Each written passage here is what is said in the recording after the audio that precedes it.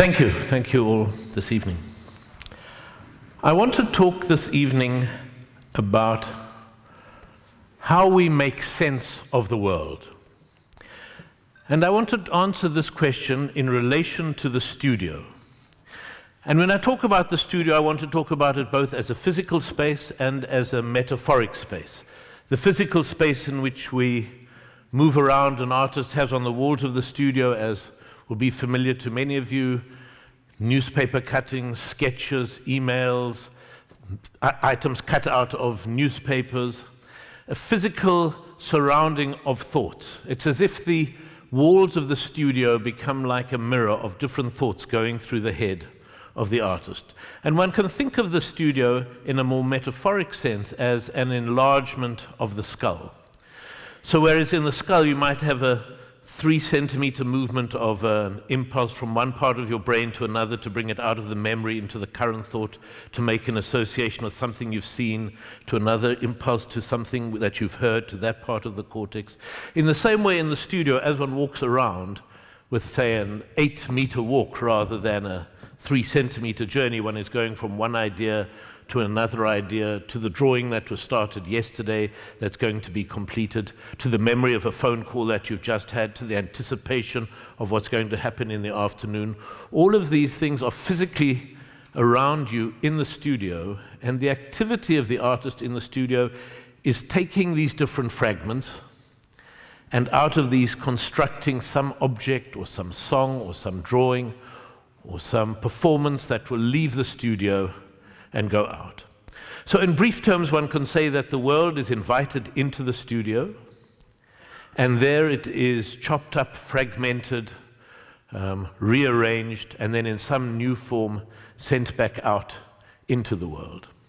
And what the studio demonstrates, which I'll be talking about further, is that the processes which are natural in the studio, the processes which are obvious in the activity of making artworks in the studio, which are visible and natural, in some ways reveal processes that we all have, but which are invisible in the way in which we make sense of the world. So I will answer both in relation to the physical and metaphoric space, but I will show it in relation to materials and activity. What are the processes that happen inside the studio in the transformation of materials from one form to another, in the migration of images from one form or one material to another, and what that shows us of ourselves and of the world. Now, I've spoken about the world being invited in and fragmented and then rearranged and sent out. And I suppose the central idea of this would be the idea of collage. And collage one thinks of as a 20th century art form of taking newspapers, fragments of clippings and cuttings, and particularly in a cubist way, rearranging an image of the world. But collage as a process of art making obviously has a much, much longer history. One thinks of all the historic and religious paintings, which are made up out of a collage of details which have been made in artists' sketchbooks over centuries. So Rembrandt would get his different students to pose in different positions and do drawings of them, and then construct a religious or a history painting by putting these different figures together. Caspar David Friedrich, who painted what one sees as these extraordinary landscapes, in fact constructs them out of sketches he's made of this branch and that trunk and that fragment of that tree and that alpine hut, and the collage is put together.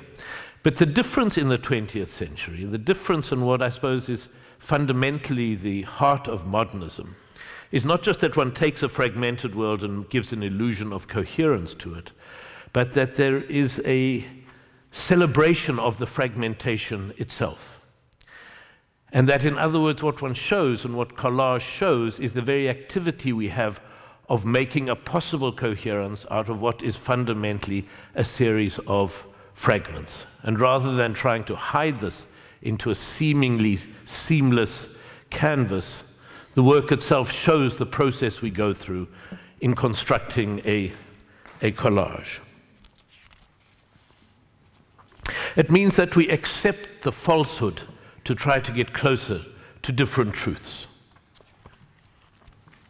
But the studio is also a physical space of movement, of physical movement across the space. There's a psychoanalytic term of Tummelplatz, which refers really as the psychoanalytic space between an analyst and the patient, which is a space both of jousting, as the Tummelplatz was, where knights would joust against each other, or where tumblers, gymnasts would do tumbling, a Tummelplatz for tumbling.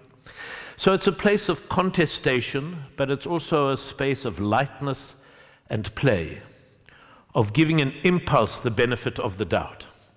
In psychoanalytic terms, of following free association rather than clear rational exposition, not in the belief that free association in itself is the virtue, but that through it one may well arrive at kinds of knowledge and understanding that otherwise would be hidden.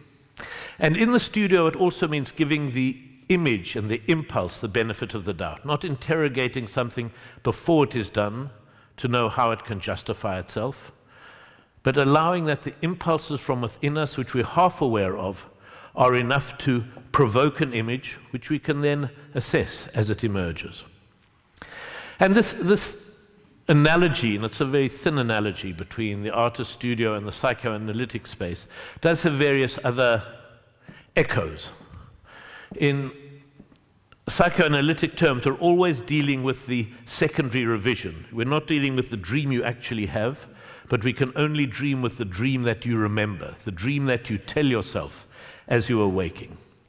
So there are different fragments that may have been zooming through your head, but in the moment of waking, there's a, a, a narrative order that is put through, and you construct it as if there is a story. And this is the material that the analyst has to work with. In the same way, when you're working with these different fragments and putting different elements of different images together to make a single image, it's not to say that is the only way it could be done, but that is the way that it emerges, and that is the raw material with which one has to then, has to then work. But there's also a sense in this Tummelplatz of, on the one hand, you have the analyst, on the other hand, you have the patient. You have these two minds thinking about the problem that circles in the space between them in the room. And in the, in the studio, you have a similar split of the, of the artist. So you have the artist making the drawing confronted by the sheet of paper trying to work out where a horizon line should be, what's the first impulse, trying to get the scale of the sheet of paper, confronted with that, waiting for the impulse to draw to start and the first images to be made on the sheet of paper. Somewhere between a vague presentiment of what an image might be and also putting different beacons on the sheet of paper which, from which one will construct the image. And this is a close confrontation with the sheet of paper, but very quickly, a second figure enters the, enters the room. And this is the critical self that stands back and looks at the drawing as it's done and can say to the person who's been doing to the drawing, you know, what a feeble drawing. You can see immediately it's in the wrong position. The belly of the rhinoceros should be lifted. You know, if he'd just stepped back and could see it. And there's a sense of confrontation. It's always, almost always one of disappointment. The one who comes in to look, who steps back from the drawing, is disappointed with what the other has managed to do and feels he ought to be able to do it so much, so much better. And instructions are given, and the drawing self gets back to the work at the coalface of the paper, making the drawing.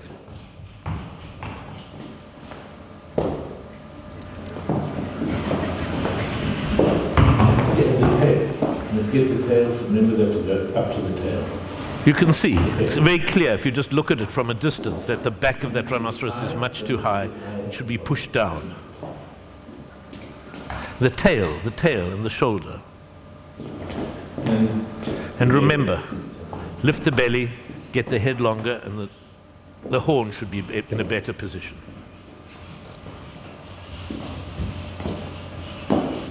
In fact, there, there, are many very good books and references. If you would just spend the time to study how Dürer had drawn a rhinoceros, it would be very easy to get it right. And there are other more accurate anatomical drawings of rhinoceroses. And he's saying, just, just take my advice. Just fuck. Just fuck off out of him. Okay. Fuck off. Just look at the damn rhinoceros. Okay. Look, look, look here. You can see that it's, wrong. You need to reach. You need to. And this confrontation, this, this clash between the physical sense of yourself making the drawing and stepping back and looking at that split of the subject becomes a very obvious part of what it is to be in the studio making, making the work.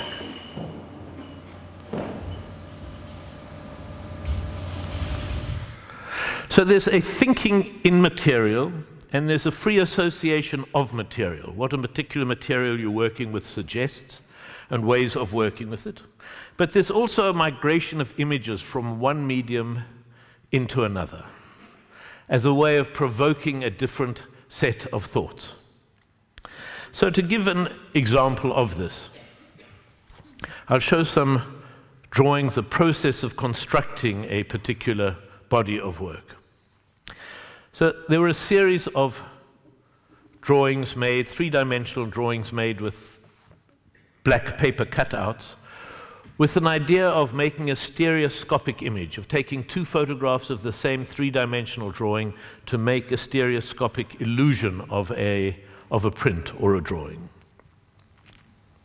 So these were all different examples of three-dimensional drawings being done on a table. That shows the way in which the table was arranged that you could actually take two photographs that had a sense of depth in it. And this was one project that had to do about the nature of an illusion of depth that we construct in our heads out of two flat images, which has to do with our understanding of our agency in seeing. We know we're seeing two flat images, but in our brain we believe the illusion of depth that we, that we make.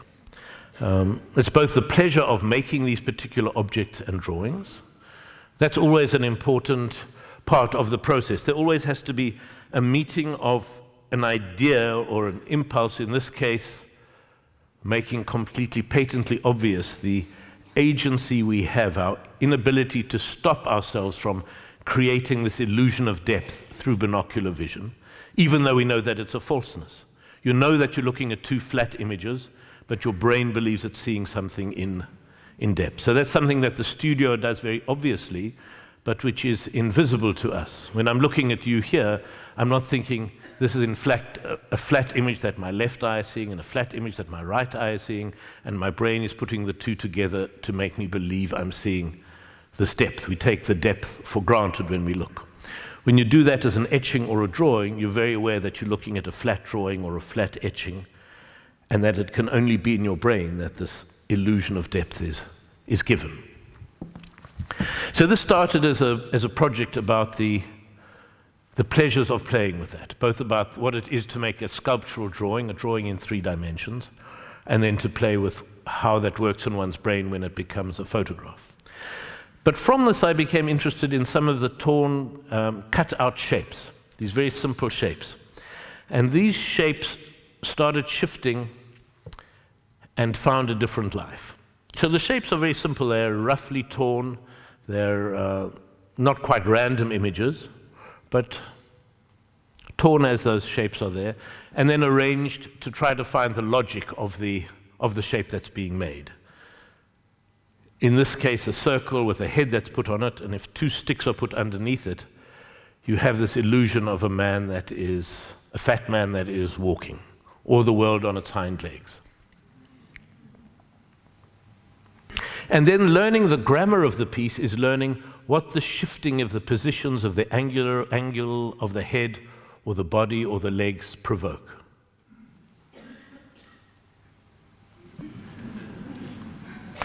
These, these torn out pieces of paper then turned into these flat sculptures, flat sculptures made out of sheets of paper which were then arranged in rows, and they started becoming a piece of text, almost like a series of glyphs or hieroglyphs.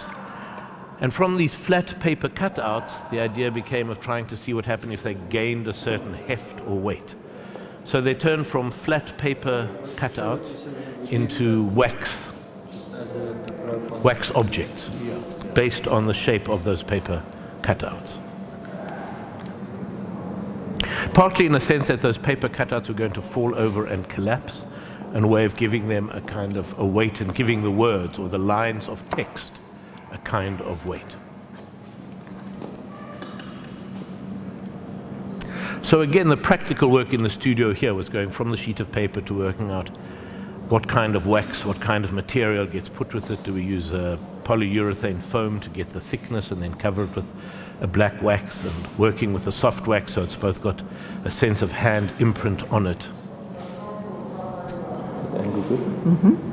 And thinking also of it as a kind of printed text, if one took a piece of text or writing or a font and turned that into a fat object with weight.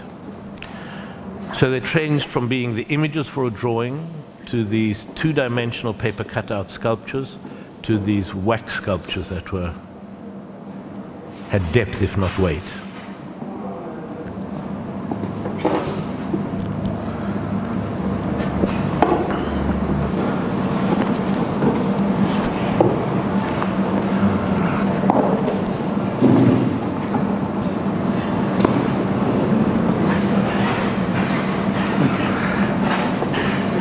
And then the final state was transferring, transforming them from wax into bronze. So they became a series of cast, if not letters, if not fonts, then possible ideas. Not to say that they have to make a coherent sentence when put together, but what they show is the possibility of constructing a chain of thoughts through having those different objects lined up and next to each other. So it expands from this project about depth of viewing to a project about a kind of encyclopedia of images and glyphs that might mean something. And that's about the pressure for meaning. Even though we can't say what the sentence is, in those sculptures there's a sense of a possibility of making sense. They hover at the edge of making sense. And this for me is always one of the interesting things. What is the nature of a riddle? A riddle that solves itself immediately loses its interest. So you have the famous riddle of the Sphinx, what goes on four legs at, uh, in the morning goes on two legs in the afternoon and three legs in the evening.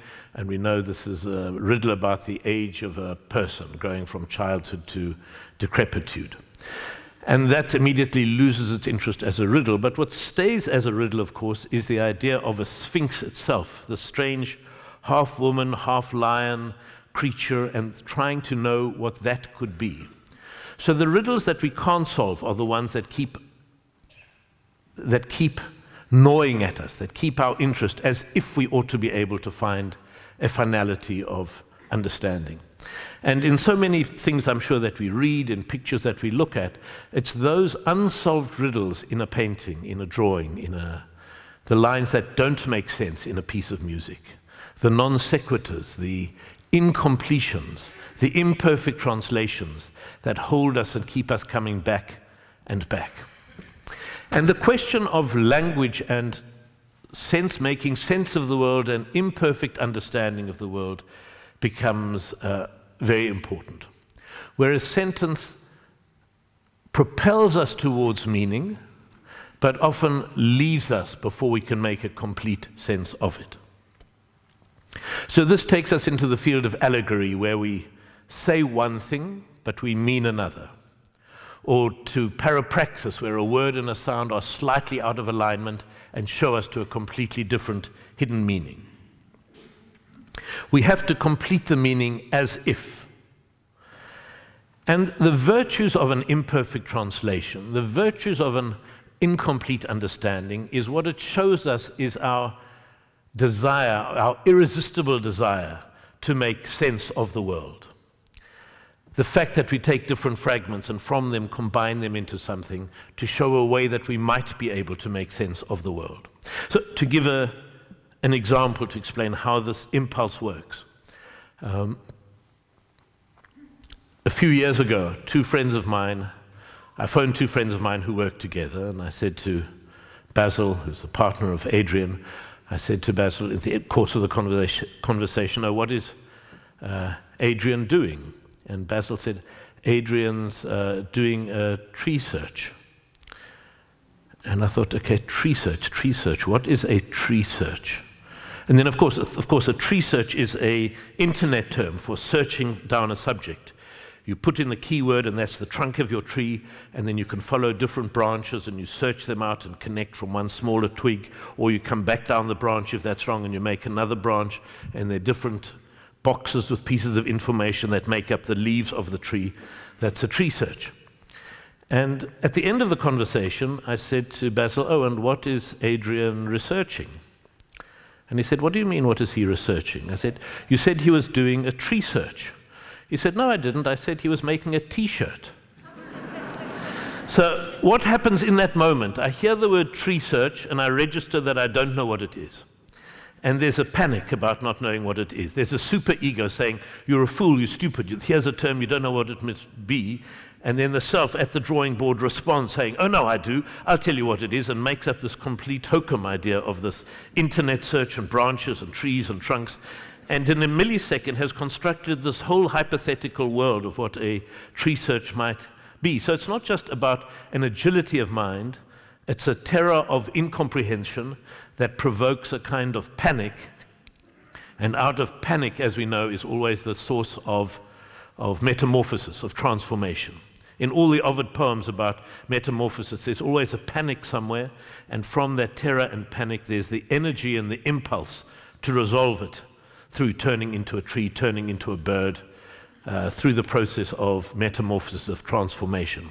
So there's something in us about the, the need and the desire to make sense of the world that is very central to who we are, which means that when one does a half finished drawing or an imperfect object, it's both about, it's not simply about a generosity of a viewer trying to make sense of it, but there's also something within us that, as our very being, as if our being depended upon it, tries to complete and make coherent that which is presented to us.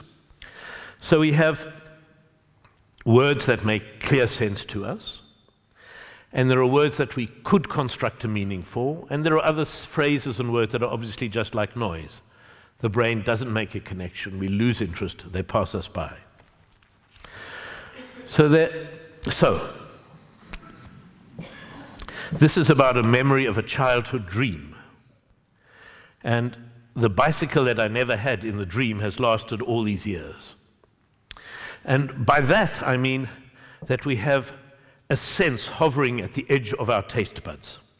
We pause, we pause, it's as if there is an impulse, a pressure for meaning. And you can, you can feel this almost in your, in your armpits, underneath your armpits, in the pectoral muscles, this impulse, in your taste buds at the back of your, at the back of your throat.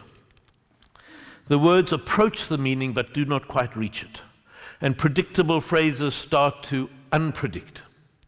The information becomes a deformation, a, de a deformation. The words go on a foraging trip they're hunter gathering for images to make sense. It's as if somewhere in the margins there is the proof of the theorem. And you wait, and you wait. And if only there was time to write down this proof of the theorem. But who could have predicted it? Who could have predicted it?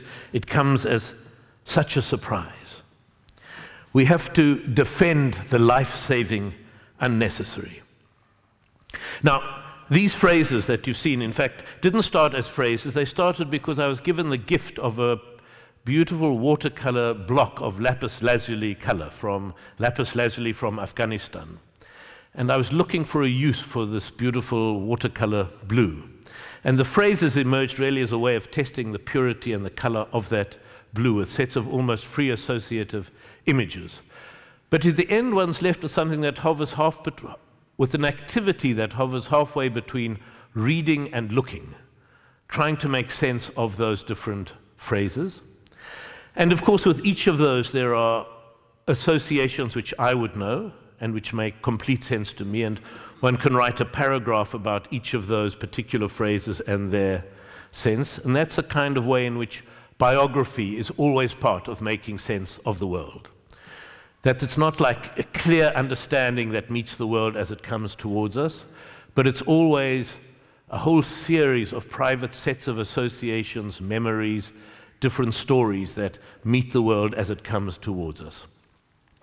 But nonetheless, even without those particular stories, like my red bicycle, did refer to the first dream I can remember when I was three years old of a bicycle next to my parents' bed. And when I woke up, there was no bicycle. And I've been waiting for that bicycle for 60 years. But there's something about a blue text saying a red bicycle, and that's kind of enough to start something off. History on one leg, the phrase refers to the toi toi, a particular kind of protest dance in South Africa in the 1980s and 90s. But it also, in a strange way, would refer to the Jewish sage who was asked to tell someone what is the meaning of the books of Moses and tell me while I stand on one leg. And that's giving the answer while one stands on one leg. I think the answer was something to the effect of uh, either do no harm to others or do unto others as you would have them do unto you. But the point is that as a phrase arises, we bring our own particular sets of associations to see what it could possibly mean. Now, a second thing I want to talk about tonight, and we'll come back to where we've been in the studio, has to do with a small project I started a year ago now in Johannesburg in a way to test some of these ideas, to allow these ideas to have a place to flourish. And it's called the, the Center for the Less Good Idea. And it's a small art center in and around my studio in Johannesburg. And it comes from this Tswana proverb if the good doctor can't cure you, find the less good doctor.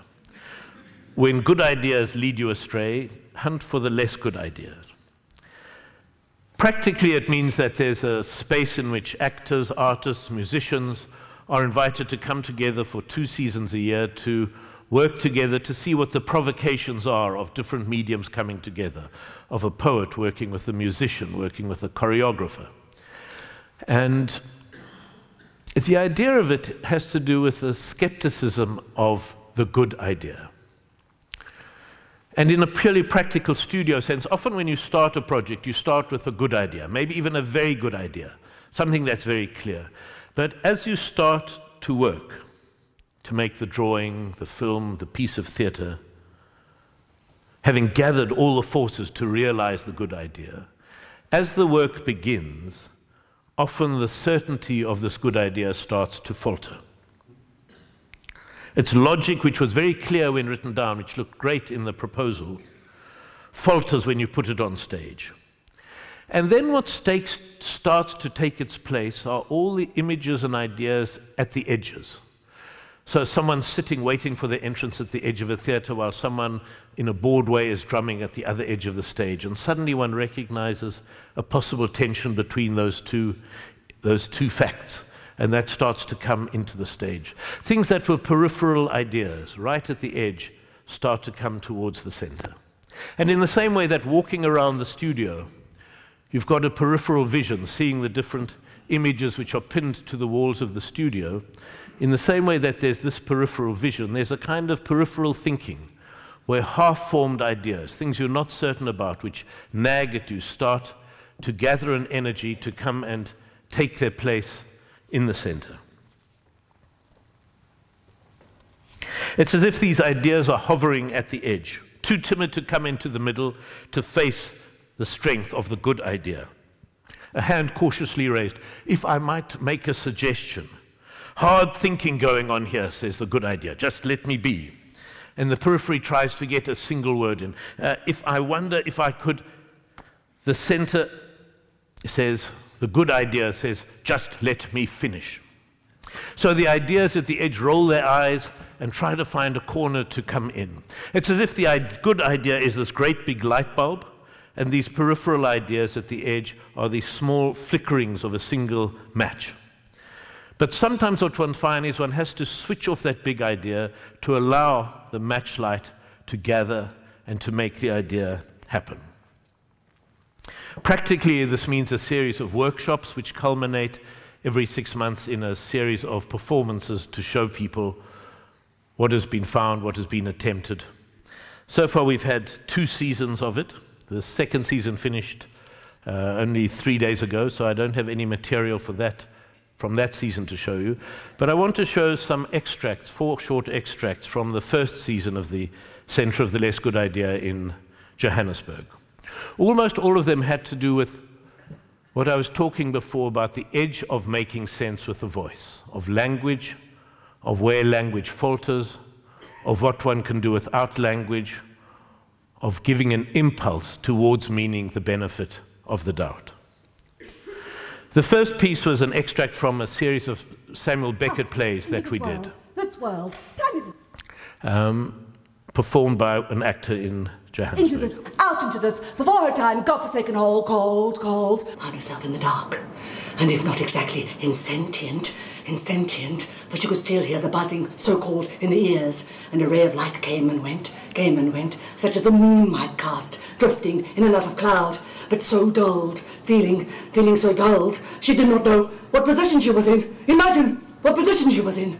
Whether standing or sitting, but the brain, what? Kneeling, yes, whether standing or sitting or kneeling, but the brain, what? Lying, yes, whether standing or sitting or kneeling or lying, but the brain still, still in a way. For her first thought was, oh, long after, sudden flash, brought up as she had been to believe, with the other waifs in a merciful God!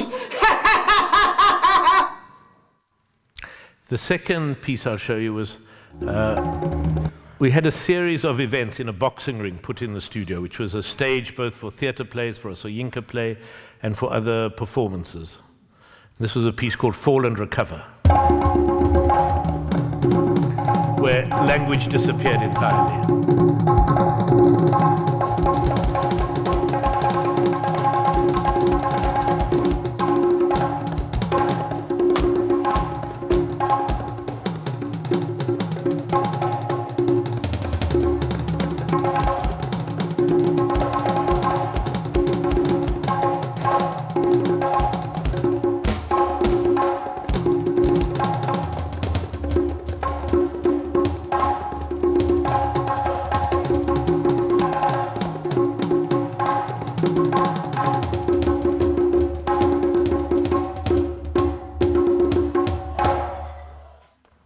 The third piece was an orchestra called the Blind Mass Orchestra, where instead of having a musical score, there were texts given. So here, language is used in the place of a musical score with instructions for musicians to improvise around and against.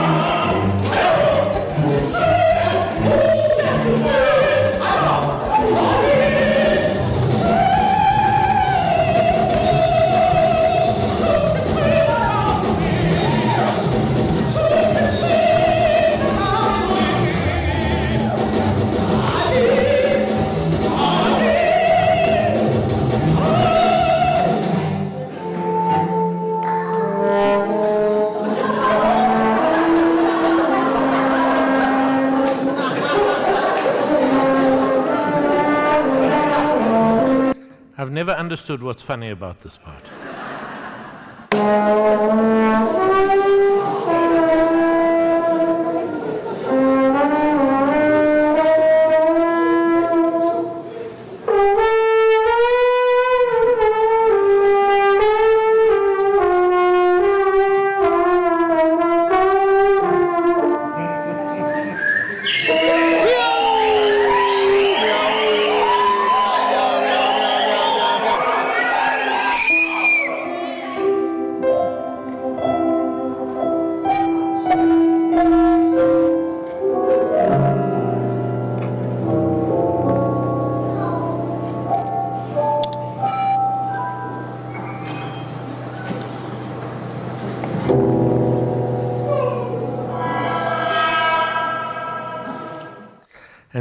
final extract is of a dance piece called Requiem Request, based somewhat on the bolero.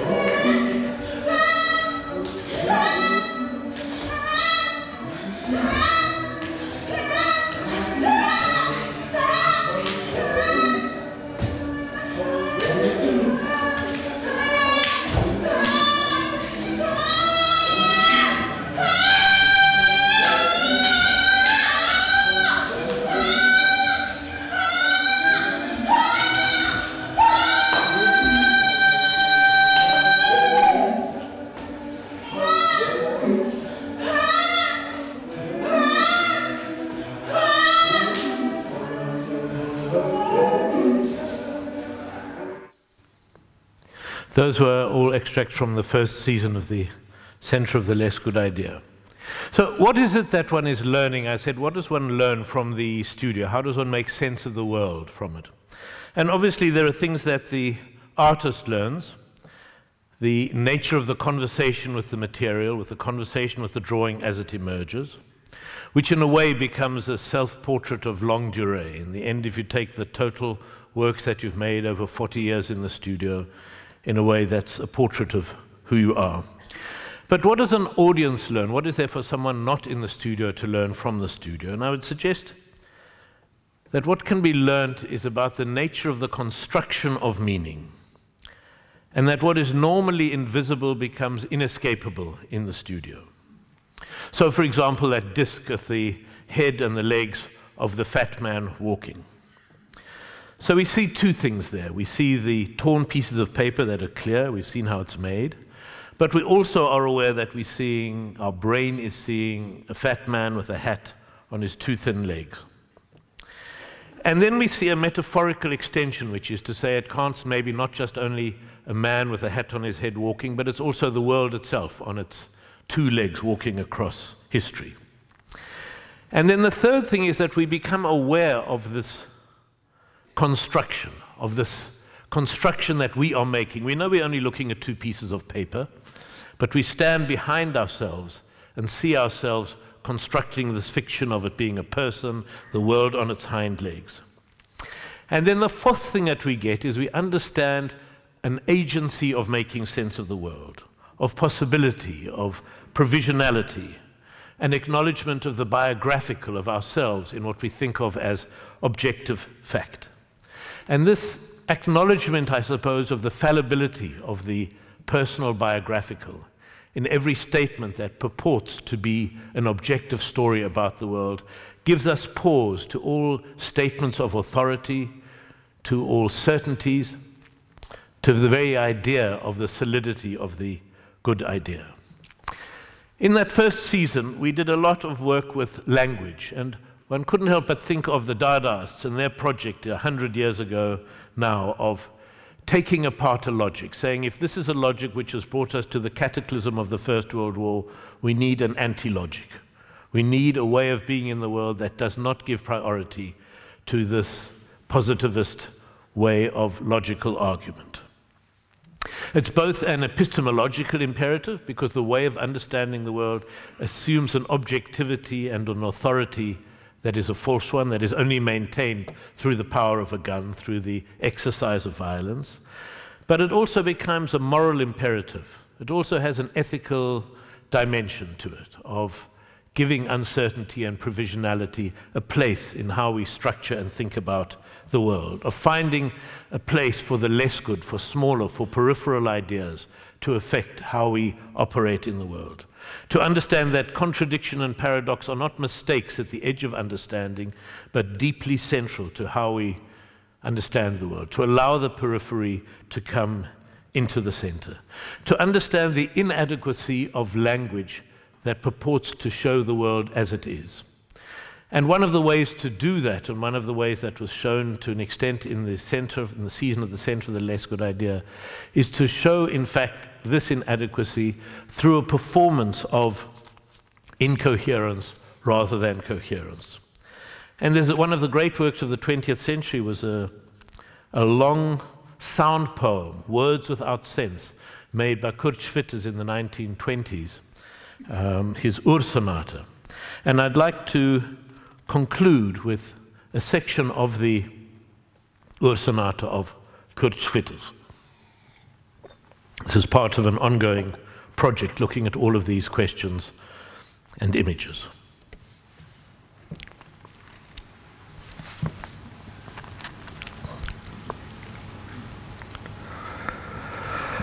Fumspavota ca u pogif qui e. O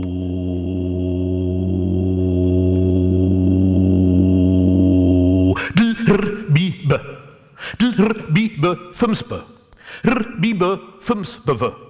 Bibe ta Bo fümsbeveta za. Bo ta ta ü. Fümsbeveta za ü. Pogif qui e. te dessen r ie pf tilftu til ju ka Rinskete BB, inskermu, tu enzetu, rinskermu, rakete BB, rumf tilftu. Tu zu inskermu, tu rinsker rinskermu, rakete BB, rakete BC. Fums povetaca u, UCDTB, fums, rakete rinskete, rakete rinskete, rakete rinskete. Rakatarinsikata, rakatarinsikata. Rakatarinsikata, rakatarinsikata, rakatarinsikata, rakatarinsikata, B. B. F. Bv. Fimspe. Bivere. Fimspeve bevereta. Fimspeveta beveretatsa. Fimspevetatsa beveretatsa u. Fimspevetatsa u beveretatsa u p. Fünf Bevertatsa up, Bevertatsa up, gif. Fünf sig upp? gif. Qui e. Raketerinsukete, raketerinsukete, raketerinsukete, raketerinsukete, raketerinsukete. Raketerinsukete, raketerinsukete, raketerinsukete, raketerinsukete, raketerinsukete, B. B. F. bewe. Fumspe bewere. Fumspewe bewibepe. Fumspe wibepe beweribepe. Fumspe wibepe beveretabepe. Fumspe vetabepe beveretatsabepe. Fumspe vetatsabepe beveretatsa ubepe. Fumspe vetatsa ubepe beveretatsa upege. Fumspe veretatsa upege beveretatsa upegif. Fumspe veretatsa upegif. Qui est Raketerin sıkıntı. Raketerin sıkıntı, raketerin sıkıntı, raketerin sıkıntı, raketerin sıkıntı, raketerin sıkıntı, raketerin sıkıntı. B. B. B. B. B. B. Bıvı. Bıvı. Bıvı. Bıvı. Bıvı. Bıvı. Bıvırı. Bıvırı. Bevere. Bevere. Bevere. Bevere. Bevibipa. Bevibipa. Bevibipa. Bevibipa. Beveretabapa. Beveretabapa. Beveretabapa. Beveretabapa. Beveretabapa. Beveretatsabapa. Beveretatsabapa. Beveretatsabapa. Beveretatsabapa. Beveretatsabapa. Qui est. Qui est. Qui est. Qui est. Det is een hr, hmm, ie, een puf, tilf toe. Dit is een hr, dit is een hr, hr, hr, ie, een puf, til, een puf, tilf, een puf, tilf toe. Dit is een hr, hmm, ie, een puf, tilf toe. Dit is een hr, hmm, ie, een puf, tilf toe, til, ju, ka. Fymsbeveta tsa u po gifqui e. Det desen hr hm, ie tilf tu, til ju ka. Tsukete bebe insker. Rinsekete bebe insker. Rakkete bebe insker. Tsukete bebe insker mu. Rinsekete bebe insker mu. Rakkete bebe insker mu. Tsukete bebe insker mu. Krim. Glim, gnim, bim bim, grim, glim, gnim, bim bim, grim, glim, gnim, bim bim, grim, glim, gnim, bim bim, grim, glim, bim bim bim, lanketergel, rumpftilf tu, lanketergel, tjulentrill, lumpftumftrill, lanketergel, pepepepepepe, zuka zuka zuka zuka, lanketergel, pi pi pi pi, uka uka uka uka, lanketergel, rumpf, rumpf, lanketergel. Oh.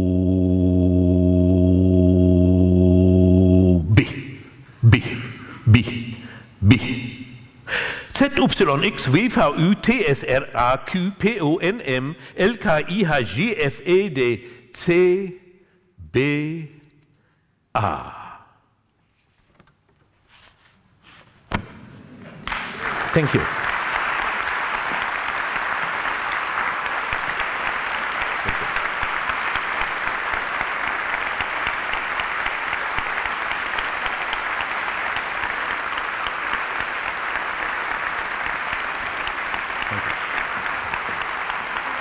Thank you very much.